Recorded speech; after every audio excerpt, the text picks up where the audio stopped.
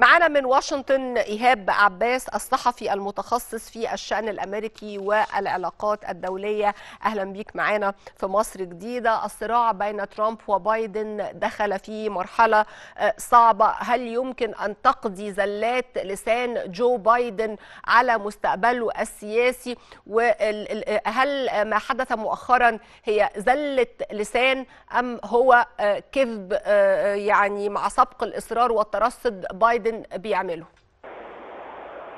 أهلا بحضرتك استاذه انجي واهلا بكل المشاهدين. آه لا طبعا هو مش مع طرف الإصرار ولا حاجة. هو الراجل آه يعني زي ما حضرتك عارفة يعني خلاص عمره تقريبا 81 82 سنة.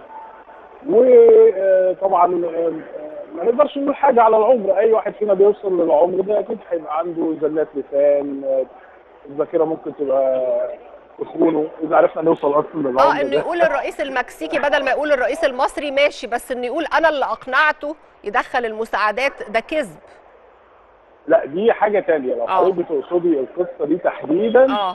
لا دي قصة تانية. دي آه يعني ممكن تخضع لتحقيقات ونتأكد بقى صحتها كذب ولا حقيقة؟ دي دي دي قصة أنا بتكلم على زاله اللسان هو هو المشاهد اللي شفناها على الهواء توضح وتبين وتؤكد بما لا يدع مجالا للشك إنها كذب وكذب باين يعني أنطونيو جوتيريش شخصيا جه على باب معبر رفح وشاف بعينه اللي بيحصل.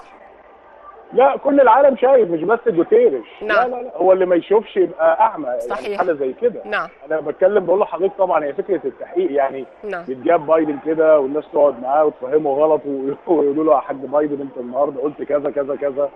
والحقيقة إنه كذا كذا كذا. أنت ما عندكش اجهزه استخبارات بتنقل لك أخبارك ما عندكش خارجية بتقول لك ما عندكش وكالات أمم متحدة بتديكوا تقارير بتعرفوا إيه اللي بيحصل.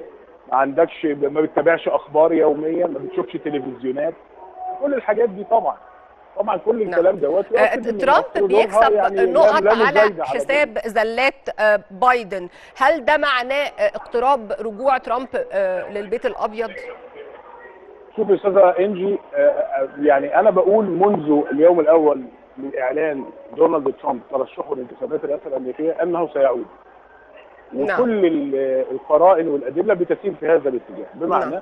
إنه كل استطلاعات الرأي بتشير إلى أن الراجل متفوق على اقرانه في الانتخابات التمهيديه للحزب الجمهوري وبتشير على أنه متفوق على جو بايدن فيما يتعلق بالاستطلاعات القومية على مستوى الدولة الأمريكية.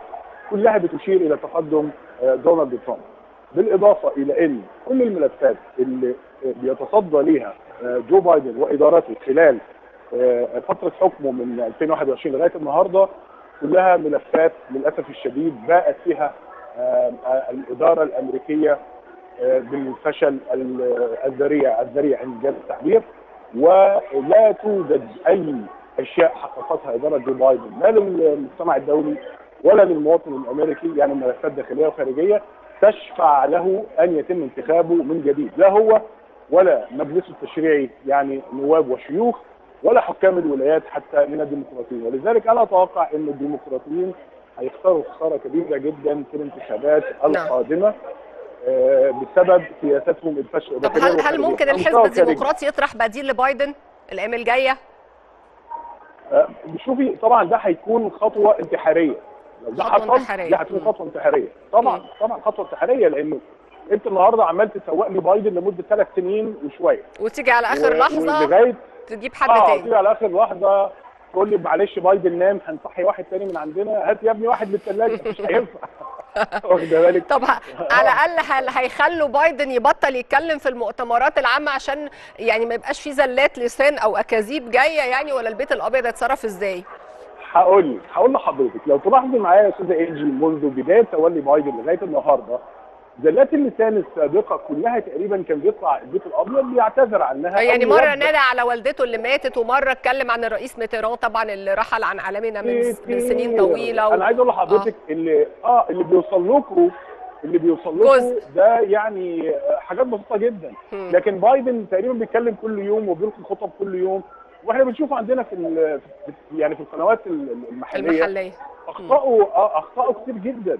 فالبيت الأبيض زهق يعني أنت لو تلاحظي ده اللي أنا أقصده إيه لو تتتبعي هتلاقي إن البيت الأبيض بطل يطلع يقول إن الرئيس كان يقصد وما كانش يقصد أو الرئيس كان آه، عايز يقول كذا بدل ما يقول كذا بطلوا خلاص ليه؟ لأنه خلاص عرفوا إنه هذه النقطة تحديدا أصبحت بما لا يدع مجال للشك نقطة ضعف كبيرة جدا لدى جو بايدن نعم. الديمقراطيين بيعولوا على إيه؟ الفكرة إيه؟ النهارده. بيعولوا على إيه؟ انه إعادة انتخاب جو بايدن و بيعولوا على الشعارات اللي بيرفعوها والشعارات اللي بيرفعوها اللي هي الحرية والديمقراطية وحقوق الإنسان مم. ومساعده الغير كل ده تكسر إحنا آه شفنا الواقع على الأرض بيكذب كل. الشعارات دي طيب طبعاً، ترامب طبعاً. لو أنا كسب عايز أقول لك على حاجة آه، مهمة اتفضل. لو تسمحي لي بس آه أكيد وافتكري سؤالك عشان ترجعي لي بيه تاني أنا أحب أحب أجاوب على سؤالك. أقول لك على حاجة مهمة جدا فيما يتعلق النهارده بمسألة رفح والموقف الأمريكي الرافض وإنه بايدن بيقول إنه آه، تصرفات إسرائيل جاوزت الحد والكلام نعم. ده. طيب أليست هذه فرصة سانحة لنا كدول عربية أن تتقدم دولة عربية إلى مجلس الأمن بمشروع قرار بوقف إطلاق النار مرة أخرى في غزة.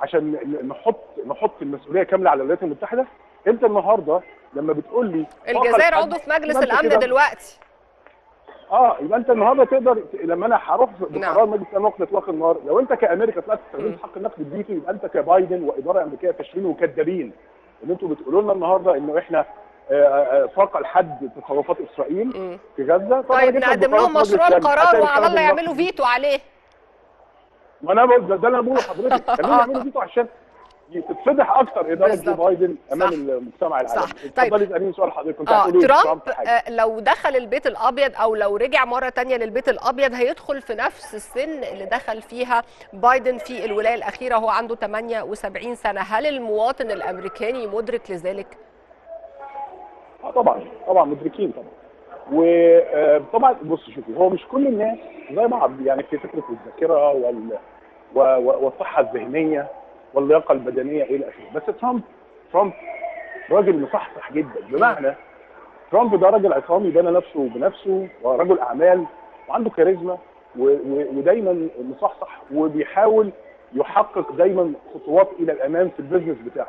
النوعية دي من البشر هتلاقيه دايما عندهم ال alerting بتاعهم عالي درجة الصحصحه والذاكره وكده لأنه بيدير إمبراطورية ضخمة أنا عجبتني الخريطة اللي عملها وكتب عليها مكسيكو بدل مصر وكتب إن المصدر جو بايدن ملعوبة بجد يا ترامب بالظبط طبعا. بقول له ملعوبة يا ترامب. شابوه صحيح صحيح آه. إحنا عندنا على فكرة ال memes اتعملت كتير قوي على الموضوع ده هنا موضوع انه الرئيس عبد الفتاح السيسي رئيس المكسيك وهناك مطالبات آه. بضم المكسيك ومصر واخد بالك تحت قيادة الرئيس عبد الفتاح السيسي فالأمور يعني يعني واخد بالك حضرتك طبعا آه. اتعملت حاجات كوميكس كتيره آه. طبعا لا هو جو بايدن للأسف الشديد يعني لم يعد يمثل الأمريكيين لأن هو الراجل ده يعني أنا كمواطن أمريكي برضو أصلا تعبت منه يعني ثلاث سنين اقتصاد فاشل الفوائد على الفوائد على الأفراد أصبحت رهيبة جدا بالنسبة للمستثمرين الوظائف تقارير الوظائف كلها في غير صالحنا.